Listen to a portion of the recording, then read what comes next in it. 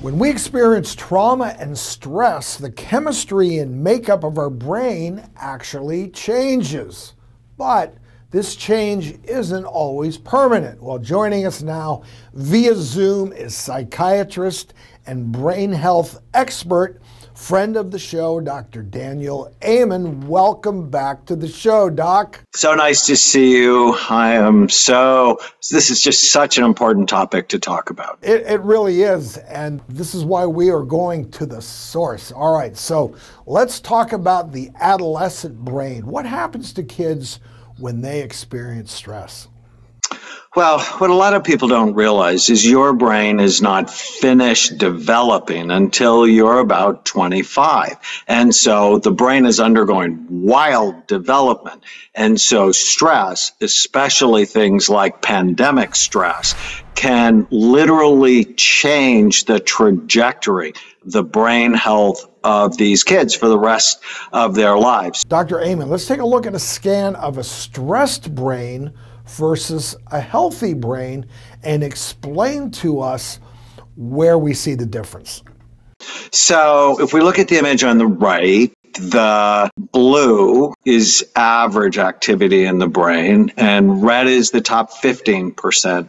White is the top 8%. So, right in the middle of the scan, you see these two big white areas. That's sort of the anxiety centers of the brain. And when they work too hard, that's what the white means. People are anxious, tense, nervous. They're sort of always looking around for something bad to happen.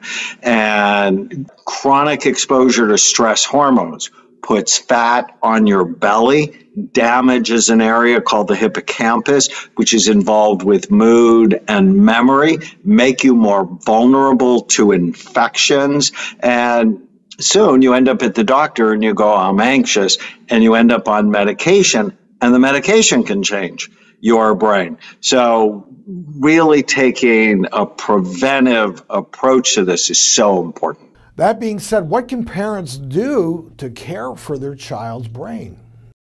So I actually have a course called Brain Thrive by 25. It's been taught all over the world. We teach kids to love and care for their brain. So the first thing for parents to do is you have to model brain health, uh, which is three things. Love your brain, like really think about it. Uh, avoid things that hurt it. Drugs, alcohol, marijuana is not good for the developing brain. Uh, and then do things that help it exercise, sleep. And one of my favorite things, these little tiny habits every day. Start the day with today is going to be a great day.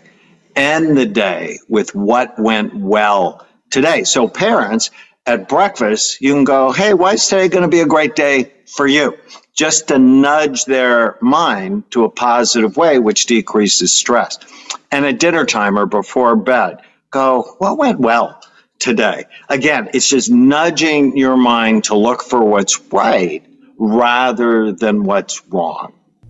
So, actually, what you're saying is that positive thinking is is medicine for, for the brain in a way. There's no question.